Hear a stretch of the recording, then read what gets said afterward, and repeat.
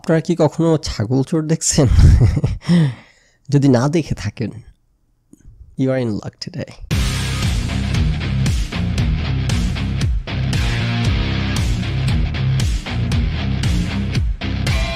clearly আমার দাঁড়িয়ে একটা ট্রানজিশনের মধ্য দিয়ে যাচ্ছে but what is going on so let us Start from the beginning. ঘটনা যেটা হয়েছে যে আমার দাড়ি তো সবসময় আমি একই স্টাইলে বছরের পর বছর রেখে আসতেছি। এই যে আমার চিক দেখা যাচ্ছে, গাল দেখা যাচ্ছে, এইটা যে আজকে কত বছর পর আমি আমার নিজের গাল দেখতে পাইতেছি টাচ করতে পারতেছি সেটা আসলে আমার ক্যালকুলেটার চেপে হিসাব করতে হবে। লিটারেলি প্রবাবলি কত?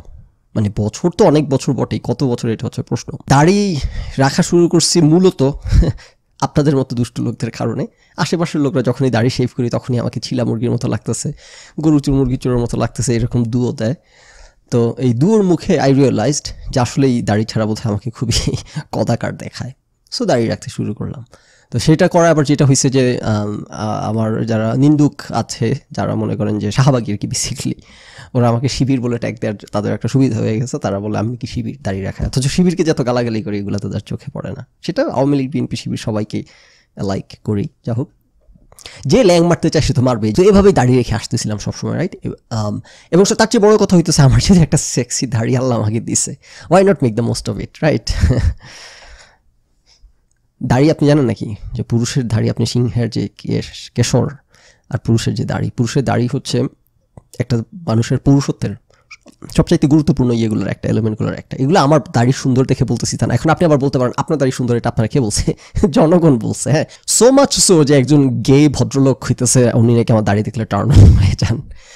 মানে ওনার কমেন্টটা পড়ে আমার জরিপ রিপোর্ট রিপোর্ট পড়ছি, এটা একেবারে ওভারওয়েলমিংলি এবং আনইকুইভোকালি এই ব্যাপারে ইউনানিমাস এগ্রিমেন্ট মহিলাদের, সেটা হচ্ছে পুরুষের সবচাইতে সেক্সি ফিচার হইতেছে দাড়ি।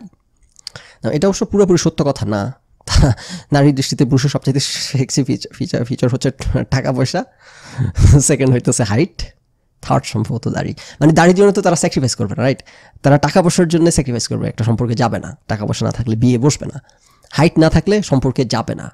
দাড়ি ভালো না হলে সম্পর্কে যাবে না, এটা মেবি কোনো নেসেসারি রিকোয়ারমেন্ট না, এটা সম্ভবত একটা থাকলে ভালো অগমেন্ট করে তাদের চাওয়া পাওয়াকে না থাকলে কপাল খারাপ এরকম। কিন্তু হাইট এবং ফিনান্সিয়াল স্টেবিলিটি বা ক্যারিয়ার স্টেবিলিটি এগুলোর সাথে কম্প্রোমাইজ সাধারণত করেন না। এখন দেখেন, দুনিয়াতে সবার ভিন্ন ভিন্ন প্রেফারেন্স থাকবে। পুরুষের প্রেফারেন্স সুন্দরী মহিলা, মহিলার প্রেফারেন্স হইতেছে লম্বা পুরুষ এবং আর্থিকভাবে সচ্ছল পুরুষ। তারা কিন্তু এটা খুব অবলীলা, এটা সে ফেসবুকে বলতে পারে, আলোচনা করতে পারে যে লম্বা না হইলে বাইকটা লম্বা হইতে হবে, এই না সেই না এবং টাকা পয়সা। এগুলো ওপেন কিন্তু আপনি কিন্তু এটা বলতে পারবেন না যে আপনি একজন সুন্দরী মহিলা পছন্দ করতে চান বা আপনি আপনার জীবনসঙ্গী হিসেবে পাইতে চান অথবা প্রেম করতে চান অথবা একটা ফর্সা মেয়ে, আপনি প্রেম এটা বলতে পারবেন আপনি খারাপ লোক হয়ে যাবেন। তারা তাদের তাদেরটা বলতে পারবে, আপনি আপনারটা বলতে পারবেন হ্যাঁ। দুনিয়া ঠিক টু এখন ওনাদের মতো হইতে হবে আর কি। যাও ও আচ্ছা দাড়ির প্রসঙ্গে। সো আমার দাড়ি কেন ট্রানজেকশনের মধ্য দিয়ে যাচ্ছে? ওকে সো আমার ওয়াইফ আমাকে কয়েকদিন আগে বলল যে চুল দাড়ি কাটাই, দোকান থেকে দাড়িটাও যদি দোকান থেকে কাটায় আসি।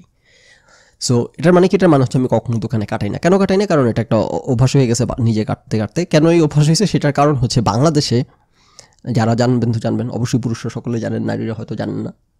বাংলাদেশে দোকানে শেভ করলে, যে দোকানে অবশ্যই নোংরা সালন সেটা আলাদা কিছু আমি বলতেছি আমি বলতেছি সালনের যে ভদ্রলোক ভাইজান, উনি দাড়ি শেভ করার সময় দুই হাতের মধ্যে এমন এমন এমন এমন করতে থাকে। সারা মুখ গাল এই হাত দিয়ে সবার মুখে এমন এমন করছে, নাকের ফুটা। এই একই হাত দিয়ে আবার মনে মনে হয় একটু আমি স্কোয়ামিশ না, কিন্তু স্টিল এটা একটু আমার কাছে বাড়াবাড়ি মনে হয় আর কি। এই জন্য আমি কখনোই দেশে দাড়ি কাটাইতাম না, নিজে দাড়ি কাটতাম। তো এই করতে করতে দোকানে না কাটানোর অনভ্যাস হয়ে গেছে আর কি, দোকানে কাটানোর সো আমার ওয়াইফ বলাই গেলাম আর কি হ্যাঁ দোকানদার যে ভদ্রমহিলা, একটু বয়স্ক ভদ্রমহিলা, চুল কাটার পর বললাম যে, খালাম্মা, একটু দাড়িটা সাইজ করেন, আমার ওয়াইফ আজকে বলছে বাইরে থেকে কাটায় আসতে। এবারে ভদ্রমহিলা কাটা শুরু করলেন, কাটার ফলাফল হচ্ছে এটা আর কি, যা এতদিন ছিল মাঝখানে। তো উনি কাটার মাঝখানে বললেন যে, কী অবস্থা, কেমন লাগতেছে? আমি ভদ্রতা দেখায় বললাম যে আই অলরেডি লাইক ইট আসলে কিন্তু আই অলরেডি হেট ইট কিছু বলতে পারতেছি না যে, কাটতেছেন, কাটেন আন্টি। তো যা হোক সেটা হইতেছে সেই, তো সেইখান থেকে আমি নিরু মুক্তি পাওয়ার জন্য এই যে এখন এই ফ্রেঞ্চ শেপে চলে আসলাম। ওই শেপে লাগতে, লাগতেছিল গরু চোরের মতো, এখন লাগতেছে ছাগল চোরের মতো আর কি বেসিক্যালি আর যখন সব ছেলে, ছিলে ফেলে দেয়, তখন লাগে মুরগির চোরের মতো। একমাত্র যখন দাড়ি থাকে, তখনই বেটার লাগে। এটা হইতেছে জনতার মতামত, আমি সম্ভবত তাদের সাথে একমত। এই হচ্ছে what is happening with my দাড়ি তবে অবশ্যই আশা করতেছি খুব দ্রুত শীঘ্রই আবার আগের শেপে ফিরে আসবে। মাস এক দুই লেগে যাবে ওই পর্যায়ে আসতে আসতে। ততদিন পর্যন্ত লাইক কমেন্ট দিয়ে পাশেই থাকুন।